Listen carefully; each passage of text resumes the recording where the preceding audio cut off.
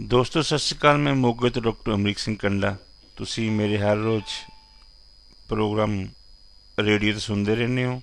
ਮੇਰੇ ਲੇਖ ਤੇ ਮੇਰਾ ਕਾਲਮ ਕੰਡੇ ਦਾ ਕੰਡਾ ਤੁਸੀਂ ਅਖਬਾਰਾਂ, ਮੈਗਜ਼ੀਨਾਂ ਵਿੱਚ ਪੜ੍ਹਦੇ ਰਹਿੰਦੇ ਹੋ। ਬਹੁਤ ਸਾਰੇ ਦੋਸਤਾਂ, ਮਿੱਤਰਾਂ ਦੇ ਕਹਿਣ ਤੇ ਜਿਹੜੇ ਪ੍ਰੋਗਰਾਮ ਨਹੀਂ ਸੁਣ ਸਕਦੇ ਰੇਡੀਓ ਤੇ,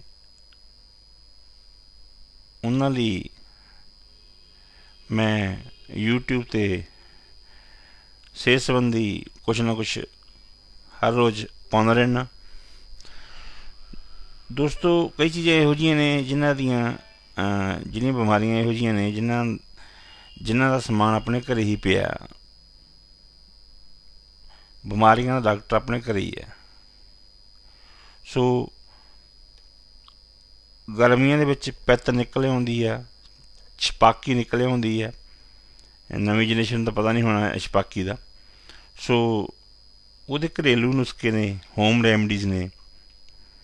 ਲੋ ਸੁਣੋ ਨੋਟ ਕਰੋ ਆਪਦੇ ਕੋਲੇ।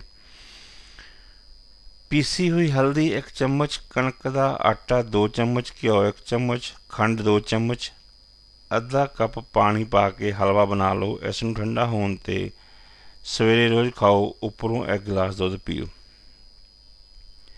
ਇਸ ਨਾਲ ਛਪਾਕੀ ਠੀਕ ਹੁੰਦੀ ਹੈ। ਅੱਧਾ ਚਮਚ ਹਲਦੀ, ਅੱਧਾ ਚਮਚ ਮਿਸ਼ਰੀ ਜਾਂ ਸ਼ਹਿਦ ਮਿਲਾ ਕੇ ਦੋ ਵਾਰ ਖਾਓ, ਛਪਾਕੀ ਨਿਕਲਣੀ ਬੰਦ ਹੋ ਜਾਵੇਗੀ।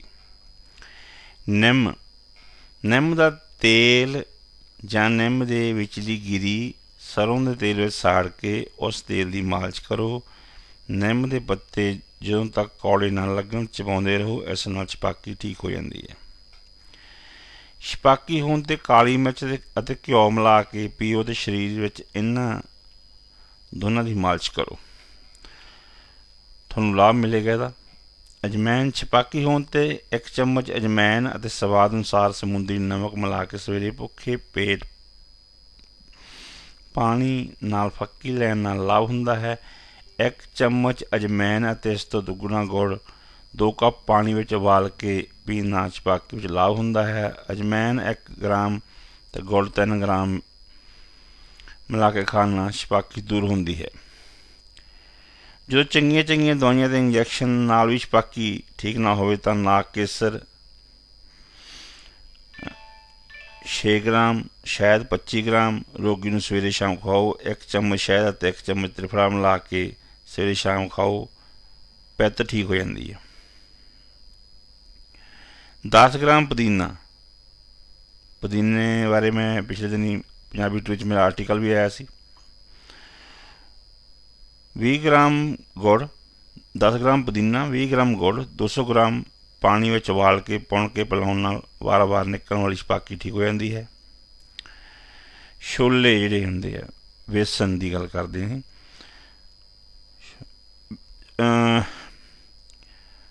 ਬੇਸਨ ਤੋਂ ਬਣੇ ਮੋਤੀ ਚੂਰ ਦੇ ਲੱਡੂਆਂ ਤੇ ਕਾਲੀ ਮਿਰਚ ਪਾ ਕੇ ਖਾਓ, ਛਪਾਕੀ ਠੀਕ ਹੋ ਜਾਵੇਗੀ। ਪਿੱਤ ਜਾਂ ਛਪਾਕੀ ਨਿਕਲਦੇ ਦੇਸੀ ਘਿਓ ਅਤੇ ਸਮੁੰਦਰੀ ਨਮਕ ਨੂੰ ਮਿਲਾ ਕੇ ਮਾਲਿਸ਼ ਕਰੋ, ਫਿਰ ਕੋਈ ਕੰਬਲ ਜਾਂ ਚਾਦਰ ਲੈ ਕੇ ਪੈ ਜਾਓ ਤੇ ਪਸੀਨਾ ਆ ਜਾਊਗਾ, ਛਪਾਕੀ ਖਤਮ ਹੋ ਜਾਵੇਗੀ। ਹੈਂਗ ਨੂੰ ਘਿਓ ਵਿੱਚ ਮਿਲਾ ਕੇ ਮਾਲਿਸ਼ ਕਰਨ ਨਾਲ ਵੀ ਲਾਭ ਮਿਲਦਾ ਹੈ। ਜੀਰੇ ਨੂੰ ਪਾਣੀ ਵਿੱਚ ਉਬਾਲ ਕੇ ਉਸ ਪਾਣੀ ਨਾਲ ਨਹਾਉਣ ਤੇ ਸਰੀਰ ਦੀ ਖਾਰਸ਼ ਸਰੀਰ ਤੇ ਕਿਤੇ ਵੀ ਖਾਰਸ਼ ਹੁੰਦੀ ਹੋਵੇ, ਛਪਾਕੀ ਹੋਵੇ, ਉਹ ਠੀਕ ਹੋ ਜਾਂਦੀ ਹੈ। ਸੋ ਦੋਸਤੋ, ਇਹ ਛੋਟੇ ਛੋਟੇ ਨੁਸਖੇ ਆ ਜਿਹੜੇ ਹੋਮ ਰੈਮਡੀਜ਼ ਨੇ, ਇਹ ਆਪਣੇ ਆਰਾਮ ਵਿੱਚ ਤੁਸੀਂ ਕਰ ਸਕਦੇ ਹੋ। ਸੋ ਜੇ ਕਿਸੇ ਨੇ ਮੇਰੇ ਨਾਲ ਸਿਹਤ ਸੰਬੰਧੀ ਕੋਈ ਸੰਪਰਕ ਕਰਨਾ, ਮੇਰਾ ਮੋਬਾਈਲ ਨੰਬਰ ਹੈ 9855535666 ਔਰ ਮੇਰਾ ਫੇਸਬੁੱਕ ਤੇ ਪੇਜ ਵੀ ਬਣਾਇਆ, ਡਾਕਟਰ ਅਮਰੀਕ ਸਿੰਘ ਕੰਡੇ ਨਾਲ ਹੈਡ ਸੋ ਦੋਸਤੋ ਖੁਸ਼ ਰਹੋ ਤੰਦਰੁਸਤ ਰਹੋ। ਸਾਰਿਆਂ ਨੂੰ ਸਤਿ ਸ਼੍ਰੀ ਅਕਾਲ।